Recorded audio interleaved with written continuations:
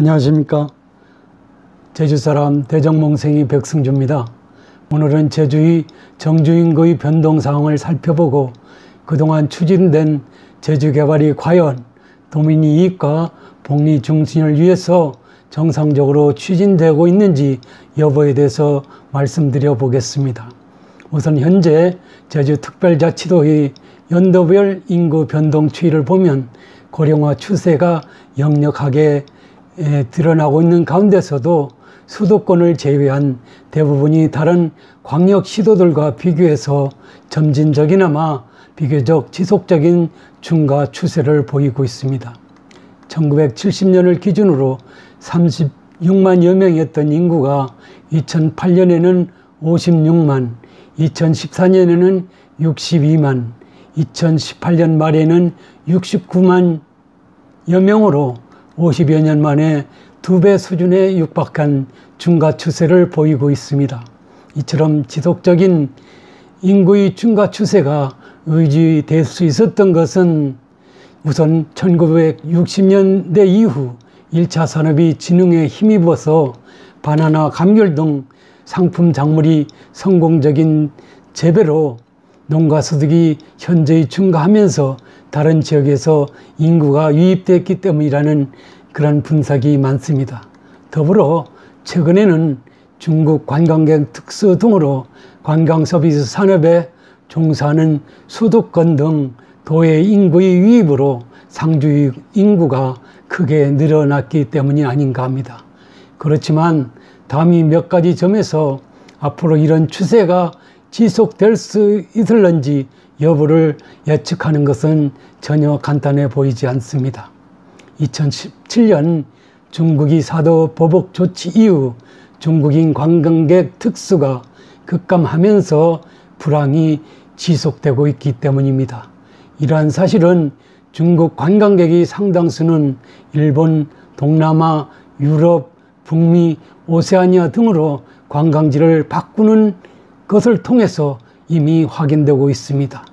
여러 관광 통계나 분석 기사 등에 따르면 제주 당국이 당초 중국 특수를 대비하여 제주 지역에 국내의 자본의 위락 시설을 집중 개발하여 지역 관광 산업의 활성화를 도모하고자 했던 제주 개발이 전략은 어쩌면 무용지물이 될지 모른다는 그런 우려를 낳고 있습니다. 제주 관광이 호황을 기대하는 것 자체가 기대 난망할 뿐만 아니라 그리 쉽지 않을 듯 합니다.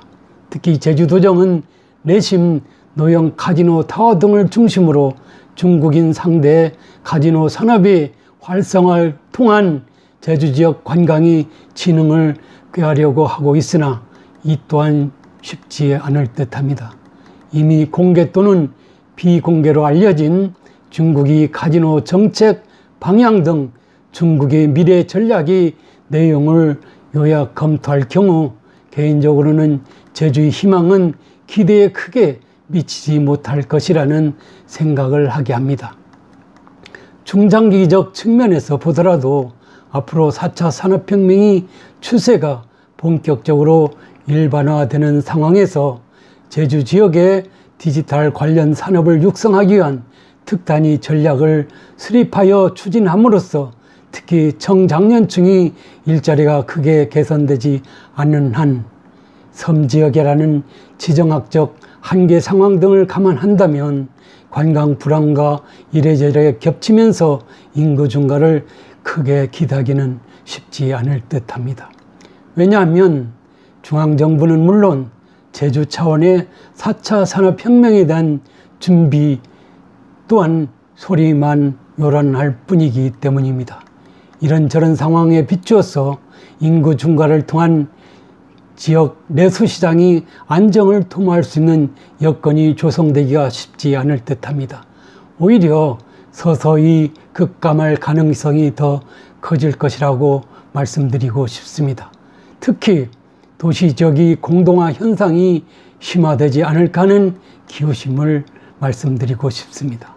다음으로 도내 기초자치단체별 인구 분포 양상을 살펴보면 특별자치도가 설치되기 이전에는 제주 전체 인구에서 제주시 인구가 차지하는 비중은 1960년에 24.2%에서 90년에는 45.2%, 95년에는 51.1%, 2005년에는 54%를 점하였습니다.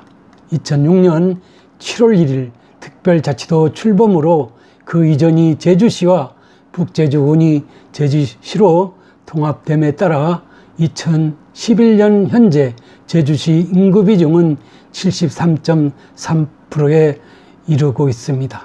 이처럼 제주시에 지속적으로 제주 인구가 집중되는 주된 원인은 여러 가지가 있겠습니다만은 제주시가 제주도의 경제, 행정, 문화의 중심지일 뿐만 아니라 교육 서비스와 의료 서비스를 비롯한 각종 사회 편익 시설을 상대적으로 잘 구비하고 있는 데 따른 것으로 비춰지고 있습니다. 이는 그간이 제주 개발 행정에 의한 도시 개발 정책이 균형 개발 또는 균형 발전 정책이 아니었다는 것을 단적으로 방증하는 사례라고 하지 않을 수 없습니다.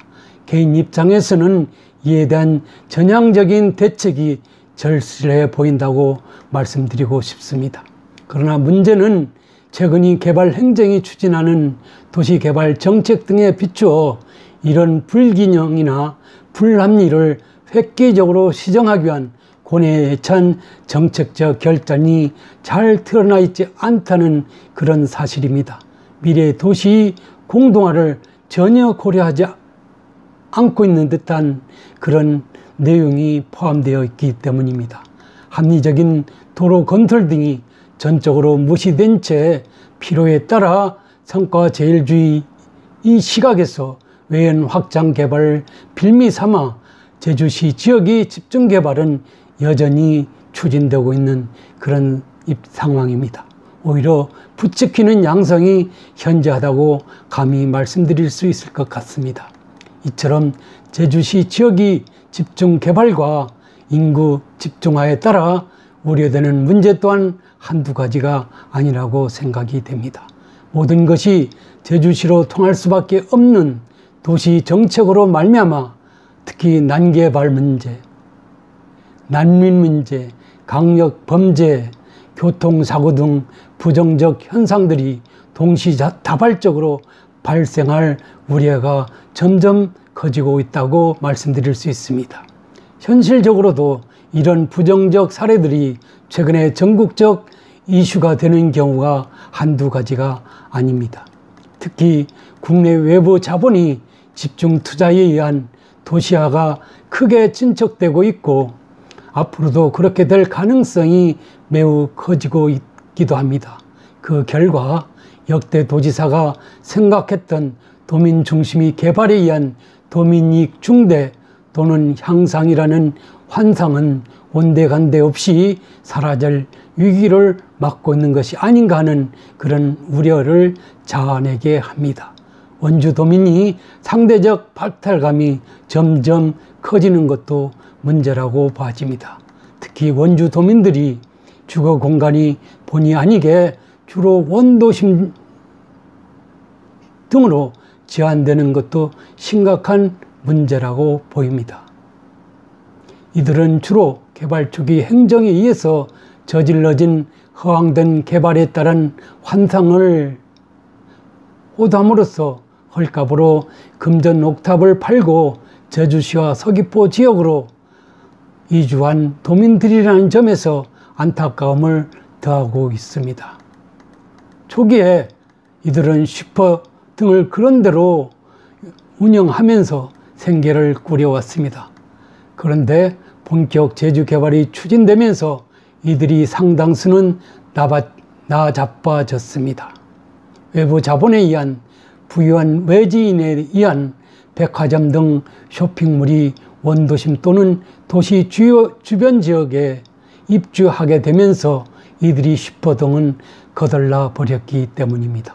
부유한 외지인에 의한 쾌적한 주거 공간 등이 선점 등으로 이들은 소위 변두리 또는 원도심으로 밀려나게 되지 않을 수 없었습니다. 이들은 행정에 의한 섣부른 제조개발 환상 심어주기에 따른 선의 피해자라 해도 과언이 아닐 것입니다. 그간 이 제주개발이 누구를 위한 것이었는지를 되묻게 합니다.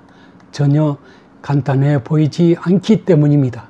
그동안 자신들이 정치적 또는 행정입지 강화를 위하여 제주 개발이나 육허 특순이 하며 평생 농사만 짓던 다수의 원주 도민들에게 무모한 실현 가능성이 크지 않은 개발 환상을 심어줬던 행정당국자 누구도 제주 개발이 실패를 인정하지 않습니다.